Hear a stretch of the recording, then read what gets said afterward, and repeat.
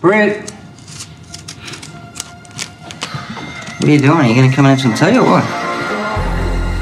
What are you doing? What's the matter?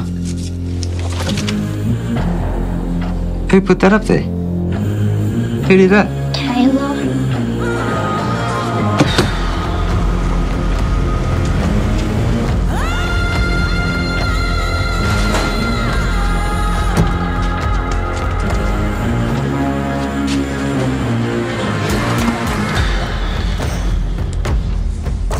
Why does she hate me so much?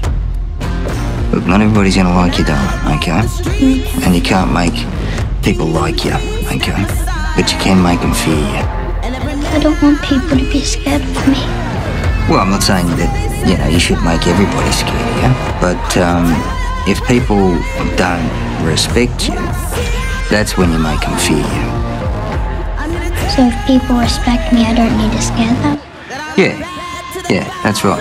But if people, see, if people don't respect you and you still treat them with respect, then you're a doormat, if you understand what I mean. What does that mean? Well, you know, like a doormat. A doormat is a person who lets other people walk all over them. Okay? And that's not the kind of person you want to be.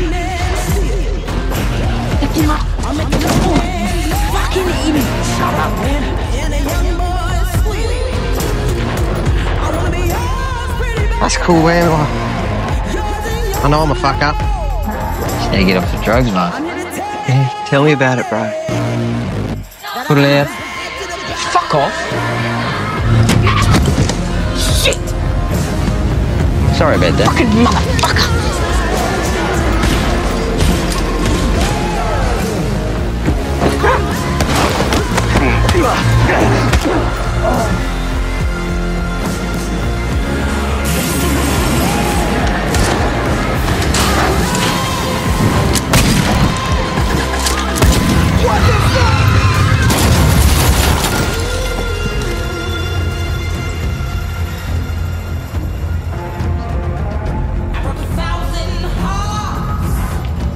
So this guy wants to talk to you about a piece of work. It's all very hush hush. Uh, You want to meet with him? who is he? I don't know. One of his guys came in last night and spoke to me about it. Said it's a big job, a lot of money. And he just wants to meet with me. Yeah. Set it up. How you going? Alex, Ray, good to meet you. nice to meet you, Ray. This is Kev. Kev, how are you, mate? Come well recommended. What can I do for you?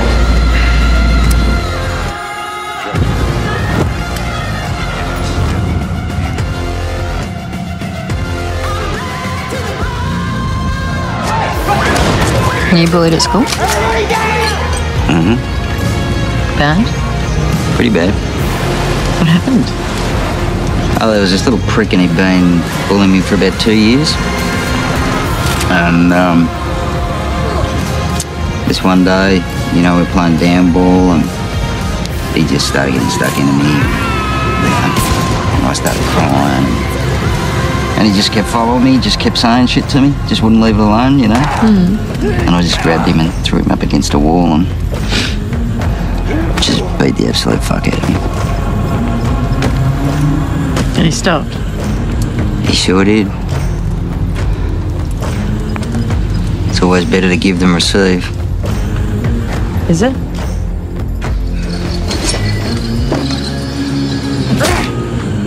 Yeah.